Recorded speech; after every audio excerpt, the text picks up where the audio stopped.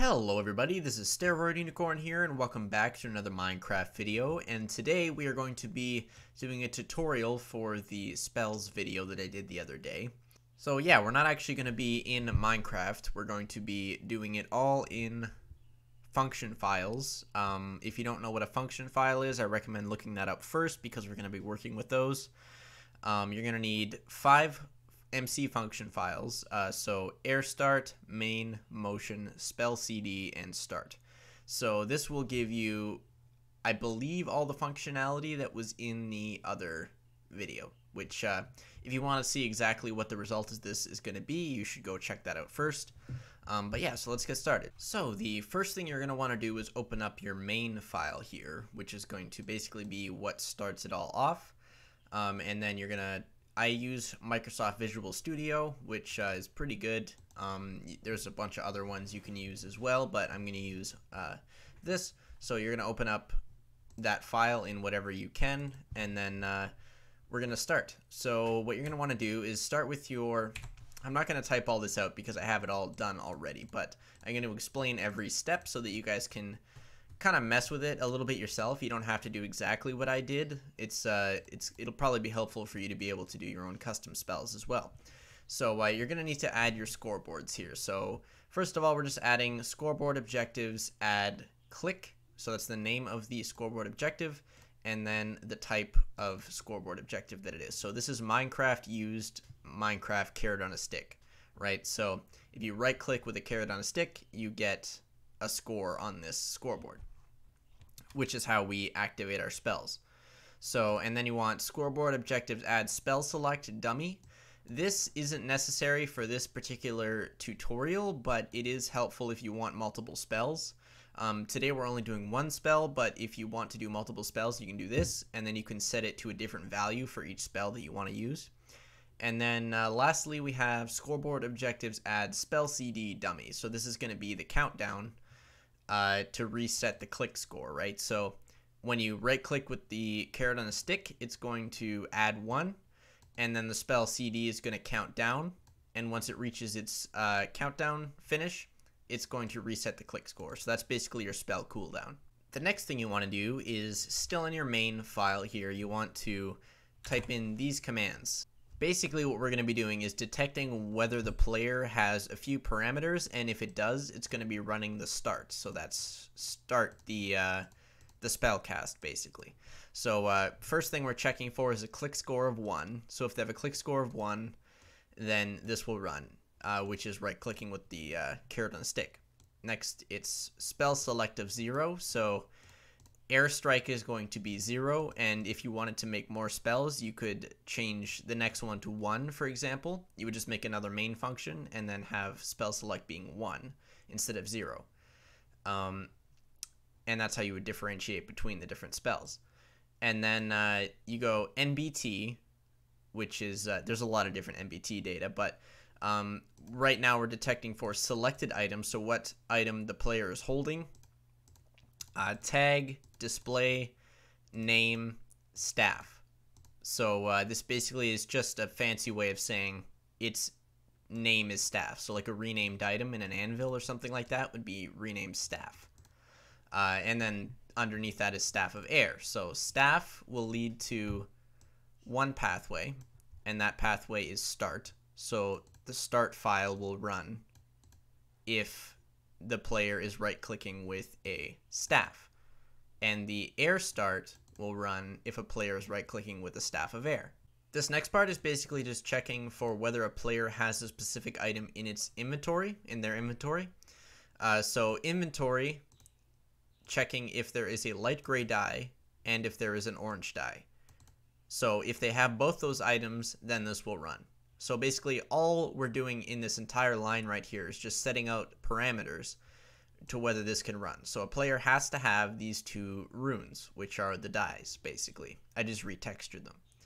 And uh, in the one underneath it, because it's a staff of air, it's going to make it so the player doesn't have to use a light gray dye, right? So you don't include that as a parameter for the staff of air. So if they only have an orange dye and they're using a staff of air, they can cast air start. And that's actually all we want to do with this file. So then you just want to hit Control S to save it, and then close it. So the next thing you want to do is open up your start file. It's one of the first five files that I showed in the beginning of the video. And then uh, I'm just going to copy this in here and we're going to go through it line by line. So first thing you're going to want to do, so when it runs the start command, or start file rather, it's going to run clear from at s. So at s is the player that is running it, so the person that cast the spell. So clear from the person that cast the spell, Minecraft orange dye 1. And then clear light dye, uh, light gray dye 1. So basically it's going to clear the two requirements for the spell. So first it checks in the previous main function, it checked for whether the player had these items in their inventory, and then if they if they do, then it removes them from their inventory basically. Now the next part is a little bit more complicated. So it's execute as at s, so as the player that is casting the spell, run summon area of effect cloud, uh, one block up, so that would be around at their eyes. And uh, this stuff right here isn't necessary. The particle isn't necessary. I just have that in just because. Um, no gravity 1b, so you don't want it to fall.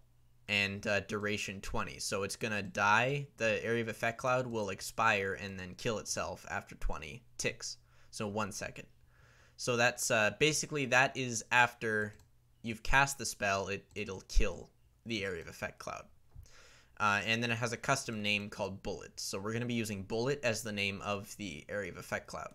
And then after you do that, you're going to want to teleport the bullet. So teleport at E name equals bullet in a distance of 2, or of less than 2 rather, to the player to make sure that the bullet is in the right place so it doesn't spawn somewhere else, right? And then because the bullet is one block down from your face, because things, when they get teleported to you, it will teleport to your feet automatically.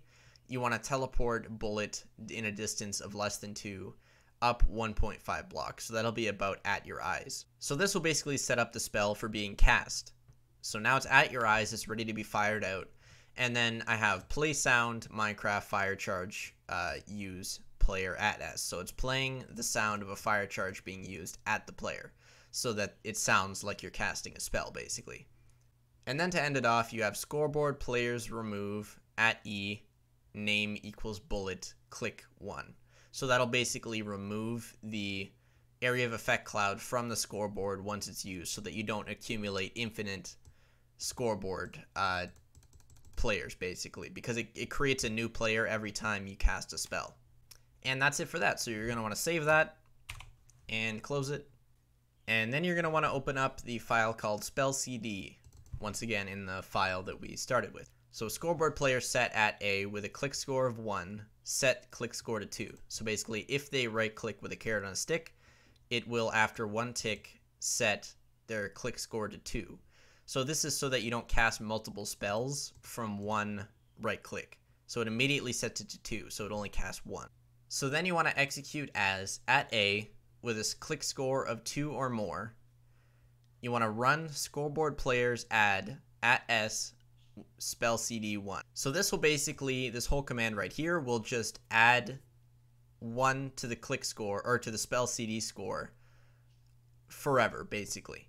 And then in our next command, we have execute as at A scores uh, spell CD 13 or more. So once this has added enough to reach 13 or more, it runs scoreboard player set click score to zero. So it'll set the click score to zero, and then right after that, we execute spell CD 13 or more, run scoreboard player set spell CD zero.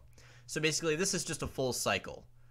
You it sets the click score to two. Once the click score is two, it adds to the spell CD and once the spell CD is at 13, it sets the click score to 0, and then it sets the spell CD to 0. So this is a really quick one. It's the air start, which is basically the exact same as the start. Right here, you'll see you can pretty much copy from the start and put it in here. All you have to do is remove clear at s Minecraft light gray dye. And then all you'll be left with is the orange dye, so that it only removes that. And then finally, we want to move over to our motion file, which is one of the more complicated ones. It's not just having to do with scoreboards and everything like that. It has to do with actually moving the area of effect cloud for you. So we'll paste this in. So this first one is going to make sure that the bullet isn't going to be able to go through blocks because you probably don't want that. You can take this out if you want it to be able to go through blocks, but uh, if you don't, then you put this in. So execute if block tilde tilde tilde Minecraft air positioned one one block in front of the uh, area of effect cloud. So these carets mean one block in front of if you put the one here. And then you want to run TP name uh, at E name equals bullet, which is the name of our area of effect cloud, to caret caret caret 1.2. And this 1.2 is actually the speed of your spell. So if you put this down to 0.5, it's going to make your spell go slower. Or if you put it up to 2, for example, it'll make it go faster.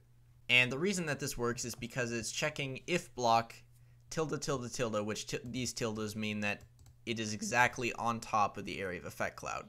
So if the area of effect cloud is in an air block, it will teleport one block forwards. If it is not in an air block, it will not. And then we've got execute as at e name equals bullet at at s run tp at s caret caret caret 1.2. So I'm not actually sure if I have to have this in. I did try taking it out and it didn't seem to work. Um, so these two basically do the same thing. Um, if you can find a way to get this to work without having this in, let me know. Um, because I think in theory, this right here should do the same thing as this just with one extra parameter where the block has to be air, but I'm not sure. And next, we're going to put in a particle effect so you're able to actually see the area of effect cloud because up until now, the area of effect cloud is completely invisible. You wouldn't be able to see anything and you would be casting a ray out in front of you and not be able to see it, and that's no fun. So what you want to do is execute as at E, name equals bullet, at at S, run particle, Minecraft cloud, and then you have all your parameters for what you want the particle effect to do, how big you want it to be, etc. And uh, normal, yeah. So all these right here are just the parameters. And then you want to execute as at e name equals bullet at unless block til or tilde tilde tilde air run kill at s. So if it hits a wall, basically it will be killed immediately. Because if you didn't have this in, it would basically stop teleporting at the block and then would just sit there and would never get killed. And then you have kill at E, name equals bullet, scores equals click score of negative 15 or less. So this basically is how long the area of effect cloud can actually stay around. So if you shoot the area of effect cloud, it can only go until its score is negative 15 and then it will get deleted. And finally, we have execute as at E, name equals bullet, at at S, run effect give, at E, type equals zombie, pigman, distance equals less than 1.5, give the effect Minecraft instant health, uh, and then has some parameters of how much instant health it will give. So this I just added so that you can see how much damage it will actually deal and what it will deal damage to. So this will deal damage to zombie pigmen, or it would deal, if you change this to type equals zombie, for example, it would deal damage to zombies or whatever. Um, but one thing to note is if you wanted to deal damage to something that isn't undead, like you wanted to put in cow, it wouldn't actually deal damage to the cow, it would heal it. So if you wanted to do it to cow, you would have to do instant damage, right? To basically just swap that instant health out for instant damage. Um, but I'm going to leave it for zombie pigman for now, and that is it. So let's go and test it out. So guys, we are in a fresh world here. I just loaded it up. I put the data pack we just created in. And uh, what you're going to want to do to set this up is have three repeating command blocks set on always active. The first one is going to have function airstrike main in it. The second one is going to have function airstrike spell CD, and the third is going to have uh, function airstrike motion in it. So as long as those are all running, um, you're going to want to set your scoreboard. So just type this into either your uh, chat or put it in a command block like I am and uh, hit uh, spell select zero. Um, because the problem is that you're not actually on the scoreboard at all, so you don't have a score of zero, you just have no score at all. Uh, so you want to make sure that your spell select score is actually zero, otherwise it won't register you as wanting to cast that specific spell. Uh, so basically just hit that once you do that, and uh, then you should be able to have your two staffs right here. So you can go on a website called MC Stacker. There'll be a li link in the description if you want to know how to uh, get the custom names on things really easily with commands. Um, but yeah, so you can basically now just right click and you will see that your spells will work. And it uses one of each of the two uh, dyes in, in the bottom there. And if you use the Staff of Air, will also cast, but it will only use the orange dye. So, guys, it makes the sound, it does all that. Let's spawn some zombie pigmen to make sure that all the damage is working as should be. Some of these annoying guys. Let's go game mode survival. Let's punch one of them. They'll all come after us. Looks like it's working. The damage is working.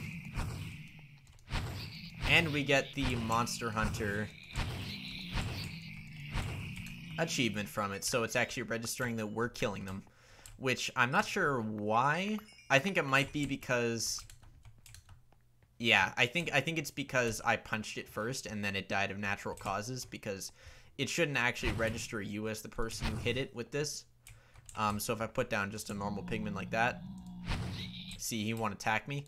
There is ways around that, um, but I'm not going to cover that in this video. I did do it for the server though, so if you cast it at this guy, he will attack you because of it. But uh, yeah.